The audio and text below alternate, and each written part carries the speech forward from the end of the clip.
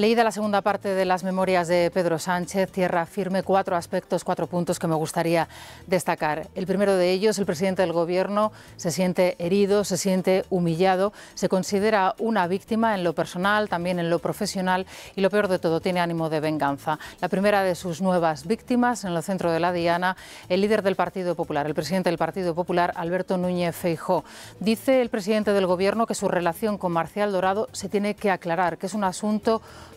turbio que merece una explicación y que en cualquier país del mundo esa relación, esa fotografía con el narcotraficante le hubiese impedido presentarse a unas elecciones. Reitera el mensaje, páginas interiores, en la página 300, cuando habla del libro Fariña y aquí directamente viene a decir que mientras parte de Galicia se puso al lado de las víctimas, de las madres de la droga, otros se pusieron con el narco y directamente apunta Alberto Núñez Feijo. De sus víctimas, la segunda de las amenazas, los medios de comunicación. En varios momentos de estas memorias, el presidente del Gobierno habla de la sobreinformación de los ciudadanos españoles. Bajo su punto de vista, los ciudadanos españoles tienen demasiada información. Eso sí, dice que es una información manipulada y que está distorsionada. Llega a decir el presidente del Gobierno, nuestro país tiene un problema de pluralismo político y esto genera un clima de opinión que no recoge con fidelidad la realidad de España. Esta deformación de la realidad tiene que ver con el segundo de los aspectos que quiero destacar, la deformación como si se tratase de un espejo convexo de la realidad que tiene el propio presidente del Gobierno. Se enfada con los españoles y lo hace mucho al criticar la visión que nosotros mismos tenemos de nuestro país, tenemos de nosotros. Dice que cuando él está en el extranjero no le sucede lo mismo, que la gente le felicita por el país que preside y además le comentan en reiteradas ocasiones que es el mejor país del mundo para vivir, que somos la envidia de Europa. Pero aquí no acaba la cosa. Eh, cuando hace la interpretación, porque es una interpretación de los hechos acaecidos durante la pandemia, llega a expresar el presidente del Gobierno que todo cambió en 24 horas, cuando realmente las amenazas del COVID, cuando las advertencias llevaban produciéndose semanas. Textualmente, en el libro dice esto Sánchez, todo empeoró radicalmente en cuestión de 24 horas. El 9 de marzo,